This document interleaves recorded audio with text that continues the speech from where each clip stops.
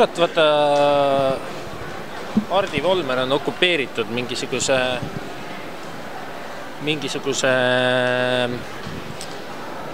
meesterahva poolt, kes ootab ilmselgelt äh, kontserti, aga seda siin ei juhtu täna. näed, siin on äh, maailma kõige andekam kaameramees Peeter Murdma. ta on harjunud vaatama maailma läbi, äh, läbi kaamera silma ja ta teeb praegu white balance'i nagu. ilmselgelt siis jäävad daamide põsed jäävad rõõsad. Suud jäävad punased. Lähme edasi. me oleme siin kõlari juures, siin on jube halb on.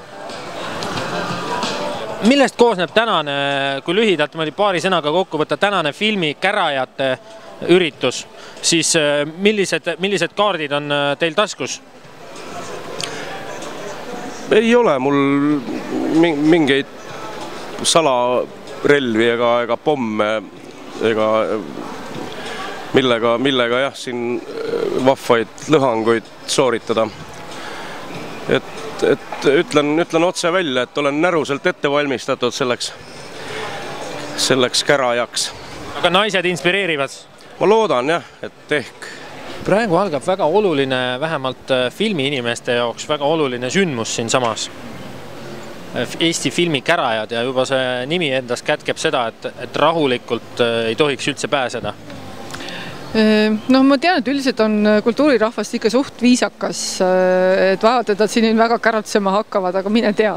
eks ma üritan omalt poolt kaasa aidata, et see peale kära ka mingit sisu tekiks on, oskate välja tuua neid probleemkohti, mida teie näete, et on meie Eesti filmil täna korrast ära või, või sellist, millele võiks justkui tähelepanu pöörata?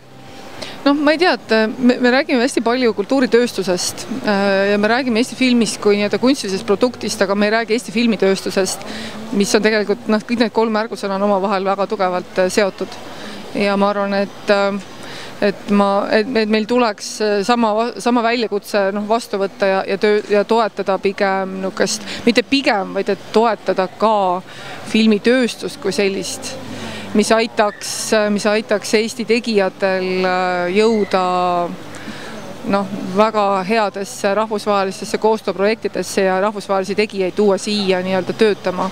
see ei ole normaalne, kus filmiinimene saab üks kuu aastas tööd teha ülejäänud üksteist kuud teeb ta reklaame, on teles, siis me saame head reklaamitegijad, head teletöötajad. aga ma küsisin siis kohe, ütelge see unelmate büdžeti number, mida oleks vaja Eesti filmile eraldada aastas, et midagi niisugust tekiks? kas nüüd selle vestlusringi järgselt, kas Eesti rahvas võib nüüd kergemalt hingata? Eesti filmitegija ei no ma ei, ma ei ole nii naiivne, et, et, et kolm inimest siin tund või poolteist juttu ajades midagi ära lahendavad, aga ma arvan, et, et võib-olla need, kes selle vastu huvi tundsid, siis vähemasti kõigis nendes kolmes erakonnas on, on inimesi, kelle jaoks on see oluline ja, ja, ja, ja, ja see annab põhjust loota, et, et kui ollakse vastastikku aktiivsed, muuhulgas ka filmitegijad, seda küsimust ikka ja jälle tõstatades, et siis noh, peaks see dialoogi võimalus olemas olema